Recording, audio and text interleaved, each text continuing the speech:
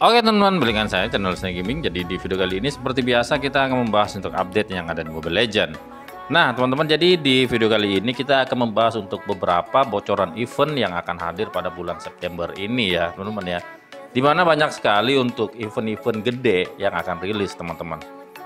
Yang pertama di sini kita akan bahas untuk event skin transformer yang fase kedua ya teman-teman. Jadi di sini ada misi spin gratisnya lagi seperti biasa ya teman-teman ya. Cuma di sini untuk tiketnya itu dibatasi sampai 10 doang teman-teman. Jadi teman-teman bisa ngespin sampai 10 kali dengan menggunakan tiket ini ya. Untuk pre-ordernya untuk yang kedua itu nggak ada ya teman-teman ya. Nah, di sini untuk maksimal event kita harus gunakan sebanyak 250 diamond dan top up 250 diamond. Di sini kita dapat 2, 2, 4 ya, 3, 7, lalu satu satu dan satu.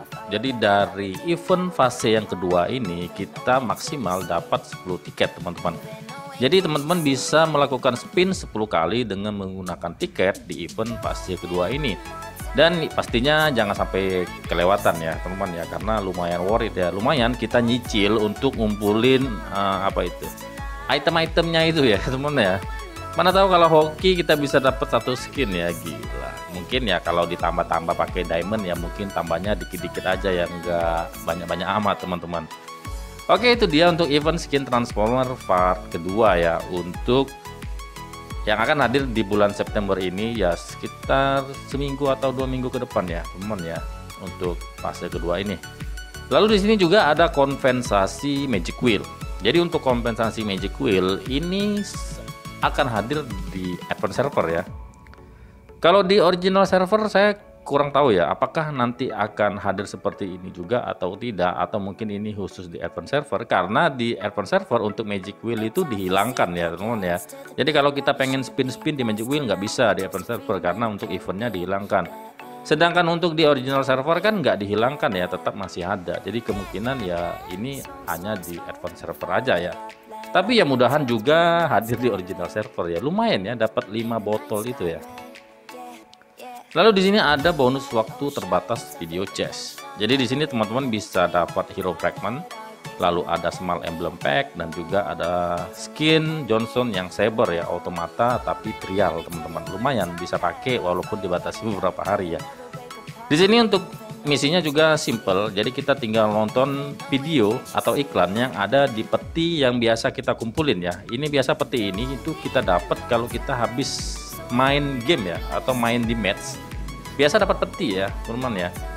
Nah peti tersebut tinggal teman-teman klik saja dan nanti dia terbuka. Itu adalah iklan dari Mobile Legend ya. Jadi teman-teman tinggal lewati saja untuk durasinya. Sampai habis ya.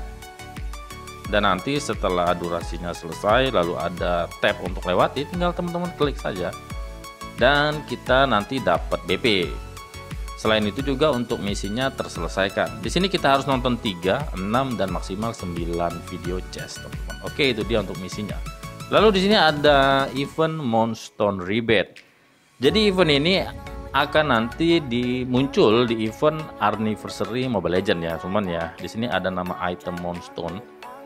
Ini teman-teman bisa ngedapetinnya dengan cara melakukan top up sebesar 250 diamond. Dan nanti kita dapat sebanyak 150 uh, Moonstone ini ya. Moonstone ini nanti bisa teman-teman gunakan untuk di event anniversary-nya Mobile Legend ya. Ini gila sih kemungkinan bakal hadiahnya keren-keren ya dan pastinya ada skin gratis karena untuk skin Mia yang Moon God itu ya itu kan katanya diberi gratis ya tapi pastinya banyak lagi hadiah lainnya teman-teman Oke teman-teman jadi itu dia untuk event-event terbaru yang akan hadir di Mobile Legends. Terima kasih teman-teman telah menonton. Kita ketemu lagi di video lainnya. Bye bye